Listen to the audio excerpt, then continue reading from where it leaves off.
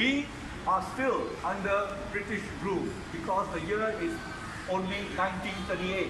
So you know which song that is. Please clap at the most strategic moment. Very famous song from Tanah Melayu from the year 1938. Have fun with this one. The year is 1938, still under British rule.